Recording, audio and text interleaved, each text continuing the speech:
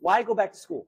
It's been a desire the whole time. Yeah. And then life happens. You meet someone, you get married, you have children, you're in a nursery for a while doing ECMO and doing all that, and you're, you know, and thrilled with your job, but you're really always putting that on the back burner, like Right. when I'll go back to school or how I'll go back to school, which really leads me just to tell you that the convenience of this, the convenience and knowing the comfort that I felt with Jaron and Karsten and the program just kind of gave me that last push. And last semester, critical care, you know, critical care, I can never learn enough, cardiac and stuff like that. So critical care really helped me a lot. I spent as much time as I can um, in MICU, you know, our intensive Right. care unit, and it really does. It real. I mean, honestly, I can't. I can't understate how much Right. you learn.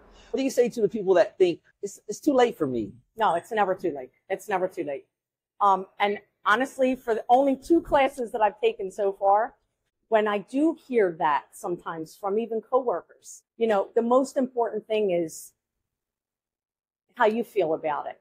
Right. So even if I were, I still have some time to retire, but it's never too late. Right. You know, even if you were going to get it for the value just for yourself, or even if you were going to retire in, in a couple years after, it's just, there's no, I mean, I think once we see with the um, ACCS and the NPS and all the advanced specialties Right. and the test for those and stuff, I think it kind of lets you know that it's, it's probably definitely the way of the future. Right.